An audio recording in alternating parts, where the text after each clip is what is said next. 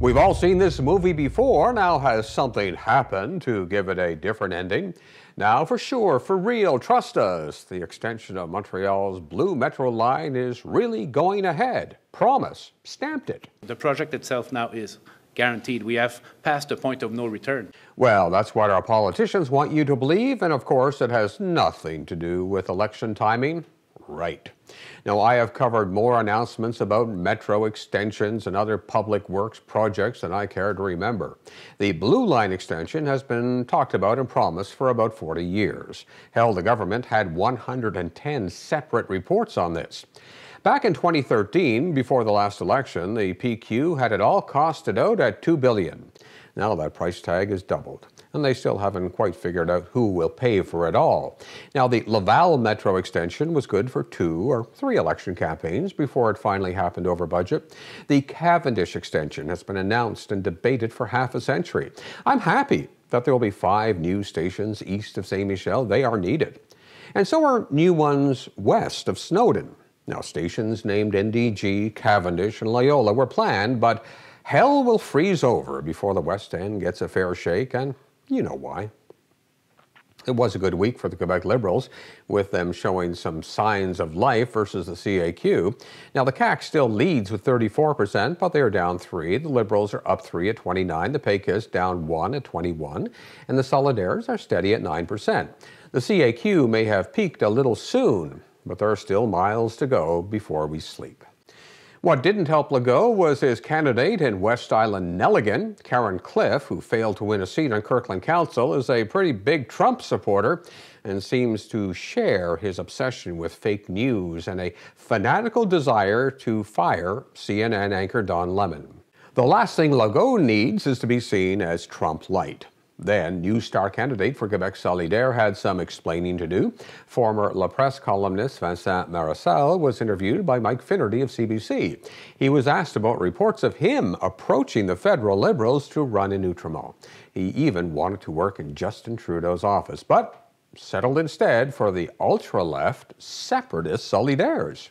What are your principles, Vincent well, well, I made the approach because I was basically looking for for new options for me. Because we you also, wanted a job. We, so for sovereignty for you, you know, if you want a job, you're for it, and if you want a job somewhere else, you're against it. No, but Mike, the fact is, I didn't go work for them. Good work, Mike. And folks, this is just the beginning. We have months of nonsense ahead of us leading up to October 1st. Now, to our south, it seems clear that the idiot in chief is now in more trouble than ever. His own personal lawyer was visited by the FBI and searches were carried out. There has to be a reason that Trump goes through so many lawyers because the dirt and corruption is knee deep.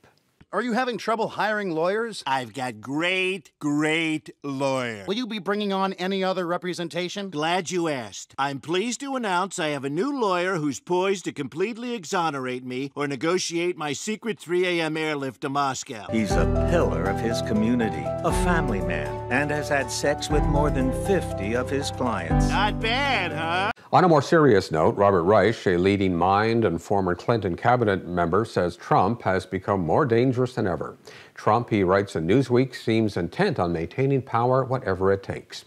He says beyond the petulance, the vindictiveness, the xenophobia, and the attacks on a free press, Trump is willing to sacrifice American democracy to his own ends, and well, that is sobering. My feeling is that we are witnessing living history, Watergate 2.0, and let's hope the ending is the same.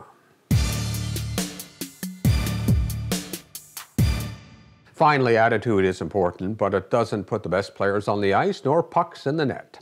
The Habs, with straight faces, say what was missing this season was a good attitude. I think an attitude change a lot of things. Yes, uh, players, yes, of course, players make things better, but if you have good players, not with the right attitude, I could bring anybody here, and if the attitude is not better, we're going to be in the same spot.